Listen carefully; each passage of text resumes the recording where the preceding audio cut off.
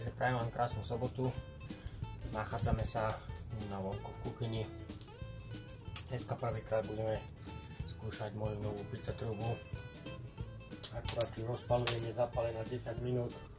Aktuálna teplota je 110 stupňov. A behom pol hodiny by to malo sa vyštierať na 500 stupňov Celzia. Nachystal som si dva rôzne druhy cesta. Jedno mám originál Neapolitan style, kde som použil suché droždie a druhé mám kváskové cesto z Levito Madre. Ukážem vám. Tak a tu máme cesto. Tu nás sa nachádza 5 kúskov, to je z domáceho kvásku Levito Madre. Tu je 6 kúskov, čo je originál Neapolitan style recept.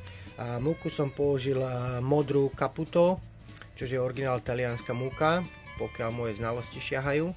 A je to veľmi dobrá múka, už som s ňou robil veľakrát. Keďže ja som si požičával od kamaráda, čo spolu robíme barbecue, jeho piecku, no ale keďže ja som chcel mať svoju piecku, tak som si kúpil svoju piecku na drevo, aby som mohol robiť iné veci, nie len pizza, pečiva, žemle, chleba, rôzne dobroty z mesa, kuracínu a také podobné veci. Takže ako vidíme, teplota nám stúpa, pomaly bude za chvíľku na 200 stupňov Celzia a e, čas zohrievania je 15 minút.